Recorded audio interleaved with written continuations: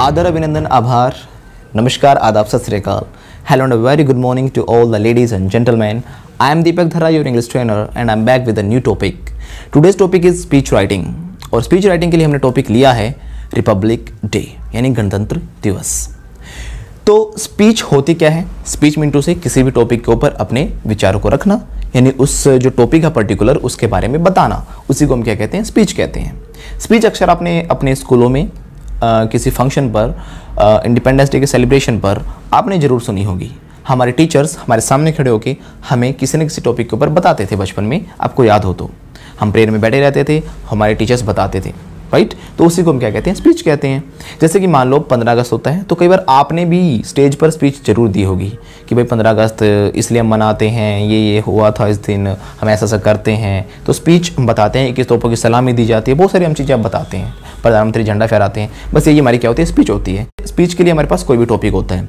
और एक साथ साथ एक बात बता दो आर्टिकल बच्चे सोचते हैं आर्टिकल कुछ अलग चीज़ होती है। आर्टिकल स्पीच लगभग सेम ही चीज़ होती है।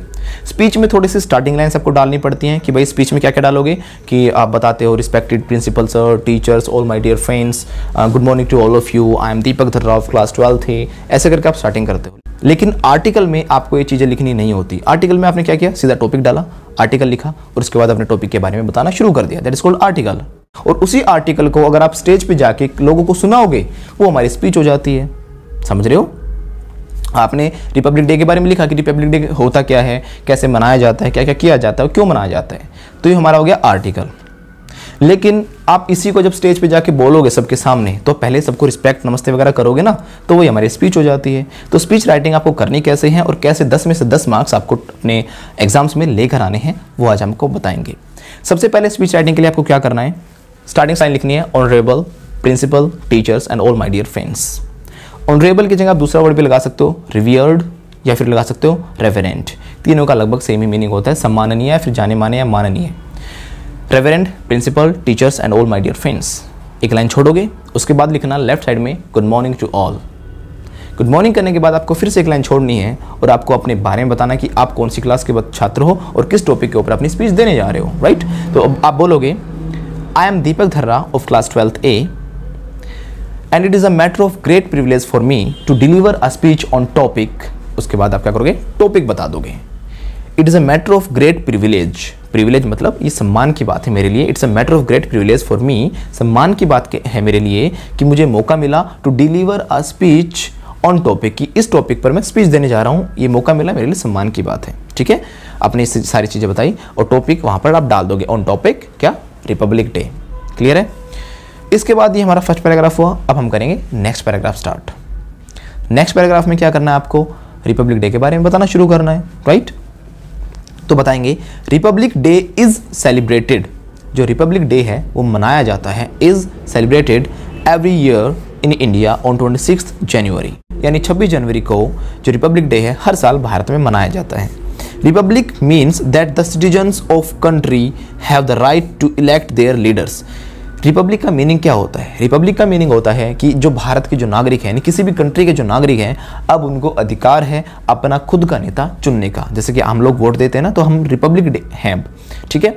पहले क्या होता था? जैसे अंग्रेज़ हमारे ऊपर राज करते थे, हमें कोई मौका नहीं था, हम गुलामों की तरह रहते थे राइट हम गुलाम बना दिया गया था अंग्रेज़ों के द्वारा। लेकिन अब हम आज़ाद हैं, अपनी मर्ज़ी से अपने नेता को चुनते हैं। तो ऐसे कंट्री को हम बोलते हैं republic their leaders to lead the nation lead का मतलब क्या होता है? चलाना। नेशन मतलब देश। देश को चलाने के लिए हम अपने नेता चुनने का अधिकार रखते हैं। ऐसे हम देश के अंदर रहते हैं, यानी हमारा गणतंत्र है। ठीक है ना? Republic Day means now our nation has its own constitution republic का अर्थ क्या हुआ? कि हमारे देश के पास अब अपना खुद का कॉन्स्टिट्यूशन है। कॉन्स्टिट्यूशन मीन टू से संविधान है। And we have now our own rules to run the country और अपने देश को चलाने के लिए हमारे खुद के ओन मतलब क्या होता है? खुद के। हमारे खुद के नियम हैं। हम किसी देश के ऊपर डिपेंडेंट नहीं है, उनके हम गुलाम नहीं हैं, या किसी देश के हम अधीन नहीं हैं। तो इसको हम बोलते हैं republic next paragraph India became independent on fifteen August जो भारत है, वो आज़ाद हुआ था इंडिपेंडेंट बना था कब? 15 अगस्त को बना था। फ्री हुआ था। कब हुआ था? फ्रीडम कब मिली थी हमें? 15 अगस्त 1947 फ्रॉम ब्रिटिश रूल अंग्रेज़ी जो रूल था रूल मतलब शासन। अंग्रेज़ी शासन से हमें छुट जो छुटकारा मिला था, वो 15 अगस्त उन्नीस सौ सैंतालीस को मिला था। But this all came possible after a long struggle लेकिन ये सब कुछ संभव कब हो पाया था? आफ्टर अ लॉन्ग स्ट्रगल एक बहुत ही लंबा स्ट्रगल हमने झेला था। उसके बाद ये संभव हुआ था। मैनी पैट्रियट्स पैट्रियट्स का मतलब क्या होता है? देशभक्त। यानी बहुत सारे देशभक्त, उन्होंने क्या किया? डाइड फॉर कंट्री देश के लिए मर गए। उन्होंने क्या किया? अपनी जो लाइफ है वो सेक्रीफाइस कर दी, बलिदान कर दी। The constitution of India came into force on twenty six January 1950 Bharat का जो संविधान है, वो केम इन फोर्स यानी फोर्स में आया था। फोर्स मतलब लागू हुआ था, कब? 26 जनवरी 1950 को। सिंस देन सिंस देन मतलब तब से वी सेलिब्रेट हम मनाते हैं the republic day every year with a great zeal pomp and enthusiasm तो उसी दिन से हम क्या करते हैं, अपना रिपब्लिक डे है, उसको हम सेलिब्रेट करते हैं, मनाते हैं विद ग्रेट जील जील मतलब उत्साह पोम मतलब हर्षोल्लास, दिखावे के साथ, अपना तड़क भड़क के साथ। एंड एंदुजियाज्म एंदुजियाज्म होता है जोश के साथ, उत्साह के साथ, उमंग के साथ। ठीक है ना? पूरा एक्टिव होकर हम क्या करते हैं? अपने देश का जो रिपब्लिक डे है वो मनाते हैं। Republic day is a national holiday in India जो रिपब्लिक डे है, वो क्या होता है? देश में एक राष्ट्रीय छुट्टी होती है हॉलीडे होती है। This day is celebrated in all the schools and office by hosting the national flag हर एक ऑफ़िस में स्कूलों में कॉलेज में, हर जगह जो रिपब्लिक डे है, मनाया जाता है क्योंकि हमारा एक राष्ट्रीय पर्व है, ठीक है? स्कूल में मनाया जाता है, हर जगह मनाया जाता है। अ ग्रैंड सेलिब्रेशन एक जो बड़ा सेलिब्रेशन टेक्स प्लेस होता है। टेक प्लेस का मतलब क्या है? होता है। एक बड़ा सा सेलिब्रेशन किया जाता है एट राजपथ कहाँ पर? जो हमारा राजपथ है दिल्ली के अंदर, वहाँ पर होता है। New Delhi president of India host the national flag. जो देश के राष्ट्रपति होते हैं, वो क्या करते हैं? होस्ट करते हैं। होस्ट मतलब क्या होता है? फहराना। किसको? The national flag. राष्ट्रीय हमारा जो झंडा है, उसे फहराते हैं। एंड परेड इज़ ऑर्गेनाइज और जो परेड होती है, वो क्या की जाती है? ऑर्गेनाइज की जाती है। यानी परेड होती है वहाँ पर हमारे सैनिकों की। Which showcases India's defence capability and its cultural heritage तो हमारी परेड की जाती है। उस परेड के अंदर क्या दिखाया जाता है कि किस प्रकार हमारा जो डिफेंस है हमारे डिफेंस के पास क्या क्या तोपें हैं हमारी आ, कैसे कैसे हथियार हमारे पास हमारी जो डिफेंस हमारा जो सुरक्षा का जो बल है सैनिक बल है उस कितना सक्षम है उसकी कैपेबिलिटीज़ को हमारा दिखाया जाता है कहाँ पर? राजपथ पर।